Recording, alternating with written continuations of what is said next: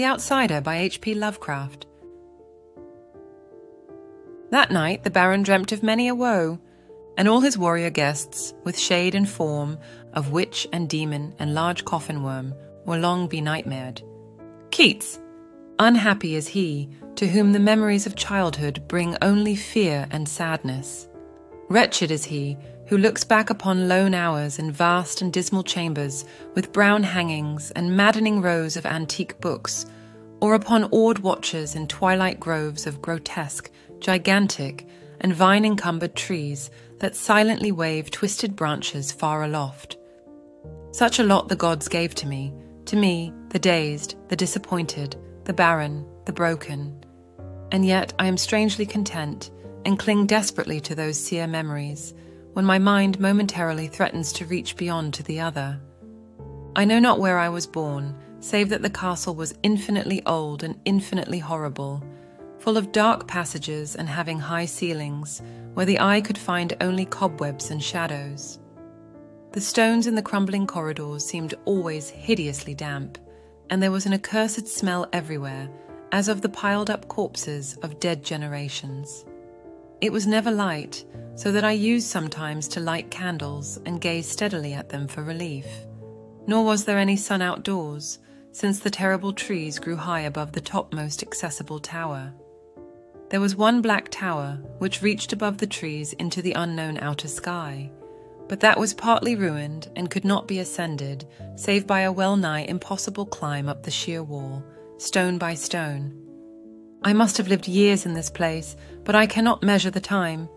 Beings must have cared for my needs, yet I cannot recall any person except myself, or anything alive but the noiseless rats and bats and spiders.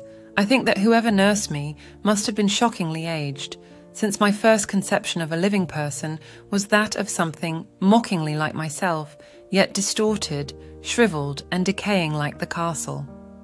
To me, there was nothing grotesque in the bones and skeletons that strode some of the stone crypts deep down among the foundations. I fantastically associated these things with everyday events and thought them more natural than the coloured pictures of living beings which I found in many of the mouldy books. From such books, I learned all that I know. No teacher urged or guided me, and I do not recall hearing any human voice in all those years, not even my own for although I had read of speech, I had never thought to try to speak aloud. My aspect was a matter equally unthought of, for there were no mirrors in the castle, and I merely regarded myself by instinct as akin to the youthful figures I saw drawn and painted in the books. I felt conscious of youth because I remembered so little.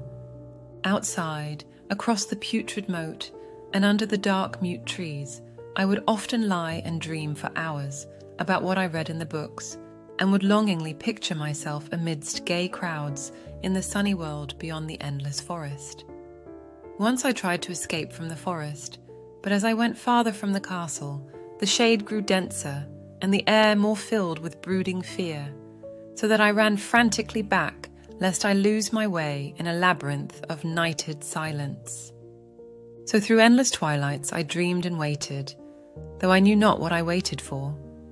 Then, in the shadowy solitude, my longing for light grew so frantic that I could rest no more, and I lifted entreating hands to the single black ruined tower that reached above the forest into the unknown outer sky.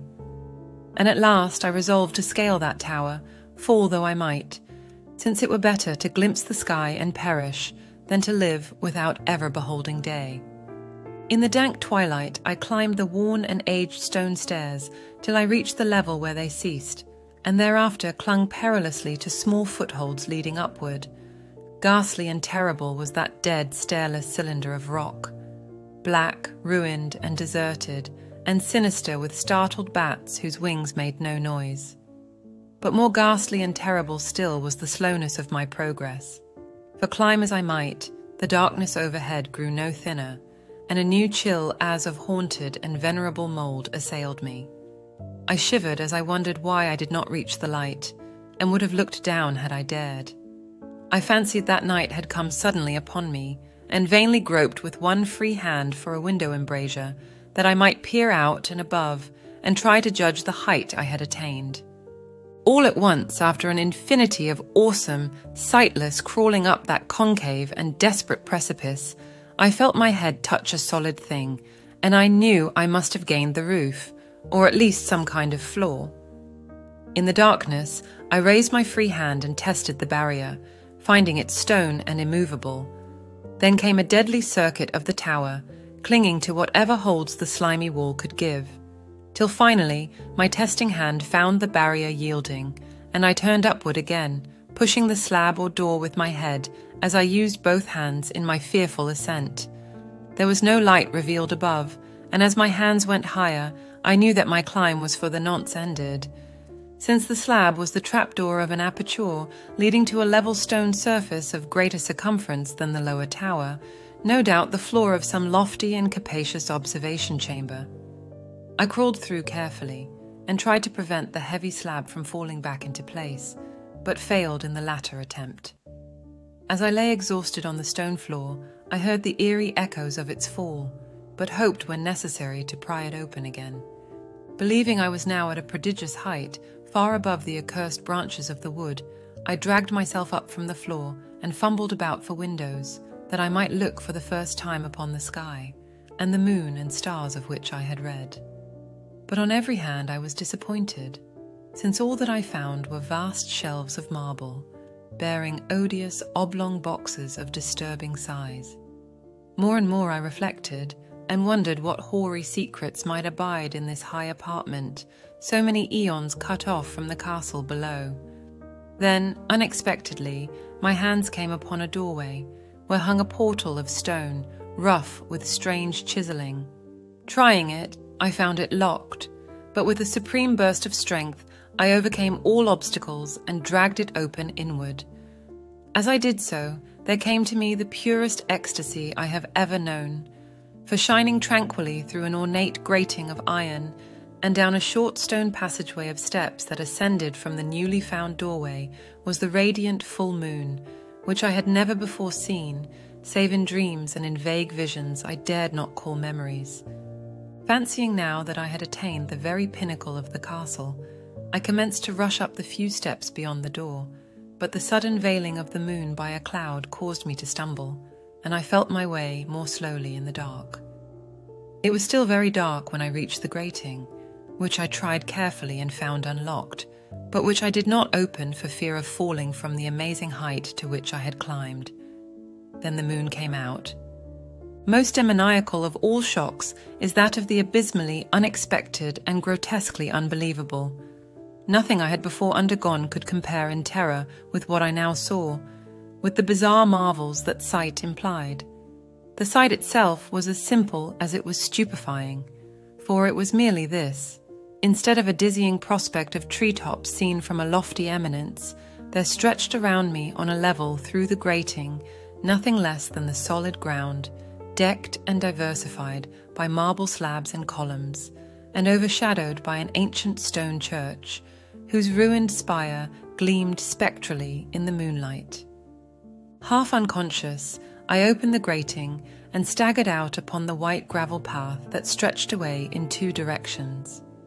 My mind, stunned and chaotic as it was, still held the frantic craving for light, and not even the fantastic wonder which had happened could stay my course.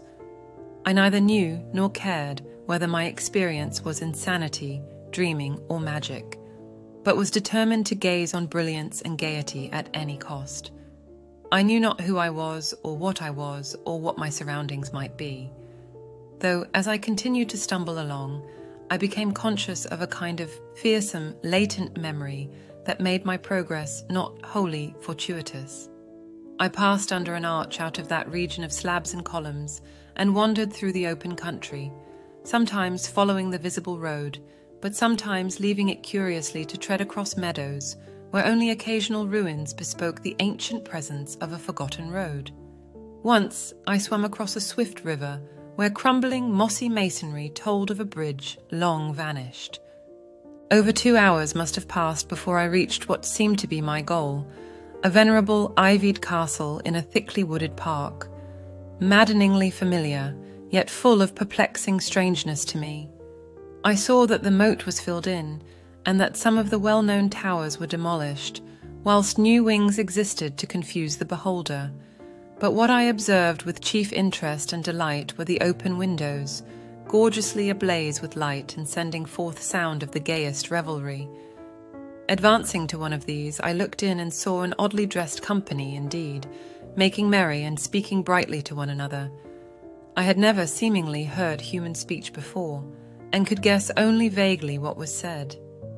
Some of the faces seemed to hold expressions that brought up incredibly remote recollections, others were utterly alien. I now stepped through the low window into the brilliantly lighted room, stepping as I did so from my single bright moment of hope to my blackest convulsion of despair and realization. The nightmare was quick to come, for as I entered, there occurred immediately one of the most terrifying demonstrations I had ever conceived. Scarcely had I crossed the sill when there descended upon the whole company a sudden and unheralded fear of hideous intensity, distorting every face and evoking the most horrible screams from nearly every throat. Flight was universal, and in the clamour and panic, several fell in a swoon and were dragged away by their madly fleeing companions. Many covered their eyes with their hands and plunged blindly and awkwardly in their race to escape, overturning furniture and stumbling against the walls before they managed to reach one of the many doors. The cries were shocking, and as I stood in the brilliant apartment alone and dazed, listening to their vanishing echoes, I trembled at the thought of what might be lurking near me unseen. At a casual inspection, the room seemed deserted, but when I moved toward one of the alcoves, I thought I detected a presence there, a hint of motion beyond the golden arched doorway leading to another and somewhat similar room.